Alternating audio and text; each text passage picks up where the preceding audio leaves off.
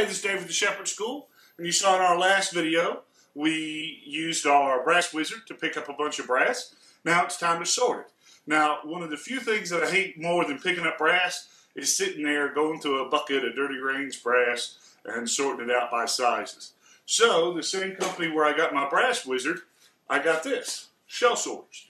They're a pretty neat little device.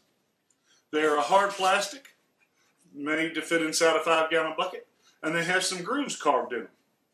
These grooves are slightly smaller than the brass that they're designed for.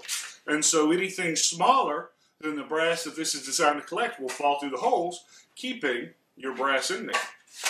Now, I have a hard time remembering which one's what, even though they were pretty smart color coding them.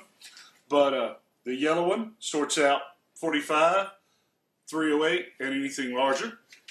The blue sorts out 40, 357, and 38.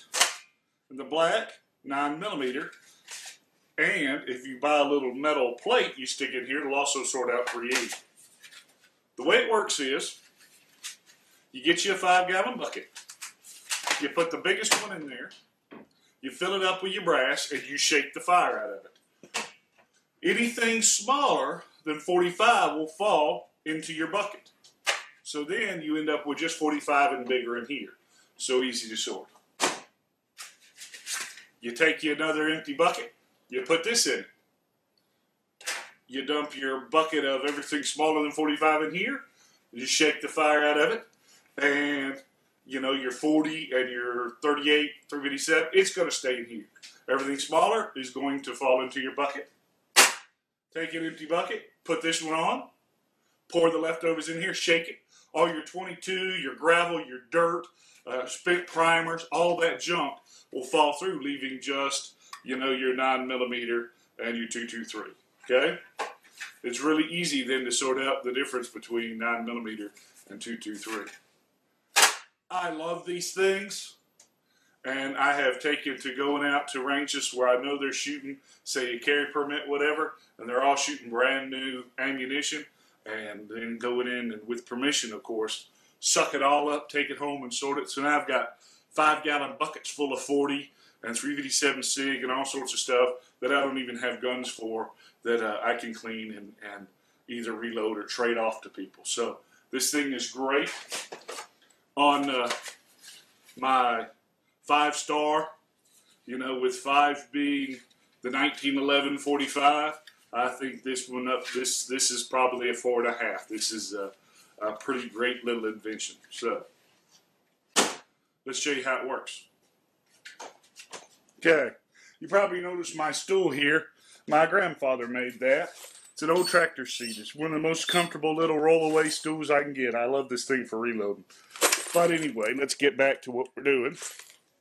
I take my brass, I dump it in the bucket. Okay? You can fill this thing all the way up, but I'd recommend against it.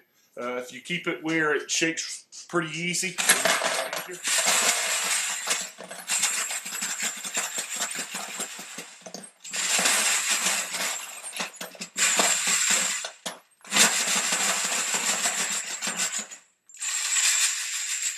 Okay. That took out all the uh,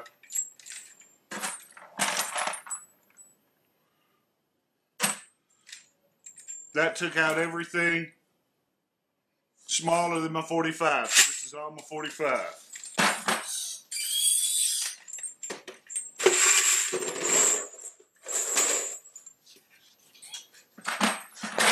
I get out the next one.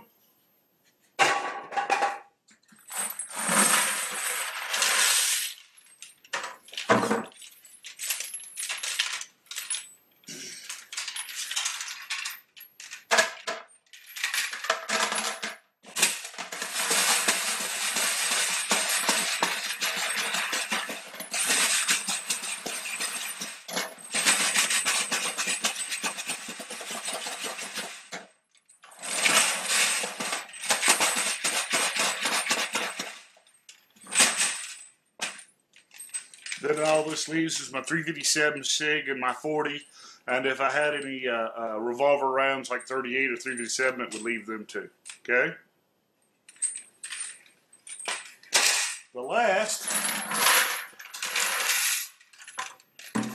is my 9 mil.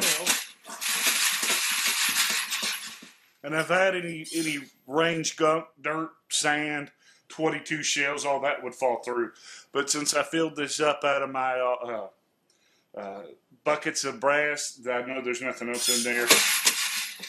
And so after I shook that, the only thing left would be my 9 mil and 223 if I had any. So the only thing left to do is go back through and hand sort through this because it's mixed. I've got some um, 40 and I've got some 357 SIG. And if you shake it real good, these nested cases, a lot of times they'll come out. But I didn't shake it all that good, so I have to go through and, and get any nested cases.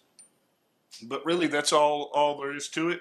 And this thing is a great device. So um, until next time, you can always catch us on the blog at www.tngun.com. Thanks.